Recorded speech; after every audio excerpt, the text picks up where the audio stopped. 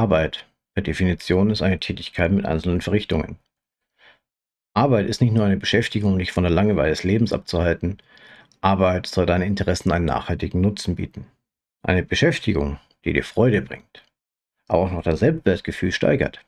Das ist das Ziel jeder schulischen Bildung.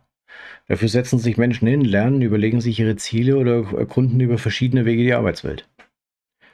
Ob Metzger, Maurer, Lehrer oder Influencer, alles, was deine Schaffenskraft anspornt und deinen Lebensunterhalt sichert, das ist das Ziel.